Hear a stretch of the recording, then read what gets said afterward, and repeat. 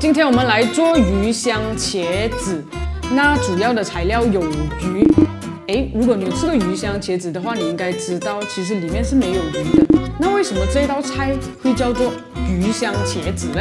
那个故事其实是这样子的，就在有很久很久以前，在四川有一户人家，他们就很喜欢吃鱼啊。每次煮鱼的时候，他们就会用呃姜啊、葱啊、有一次这些配料就准备太多了，那老婆觉得哎很浪费啊，所以是第二天他就拿来炒其他的肉跟蔬菜啦。然后他就觉得哎应该不会很好吃，那也知道她老公吃到就觉得哇好吃哦。然后还问他老婆，哎，你是怎样做出来的？这样从此以后呢，这样子的烹调风味呢，我们就把它叫做鱼香草。好，故事讲完了，现在我们就开始做了。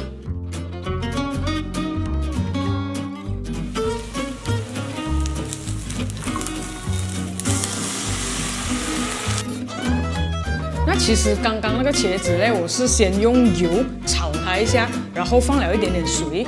现在关盖，用小火焖它两三分钟，是为了让那个茄子的颜色更加鲜艳，还有光泽。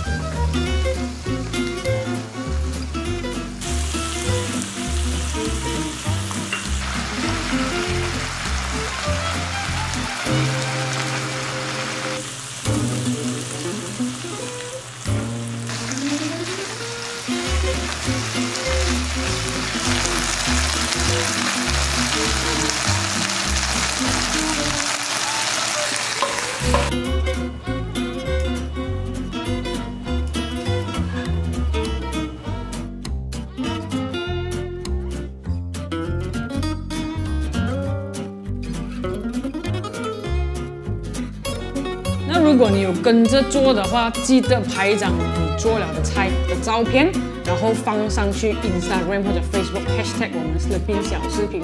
如果你有什么菜想要学的话，也可以在 comment 那边让我们知道。如果我会做的话，我也可以分享啦。如果我不会做的话，就好，我们下次见。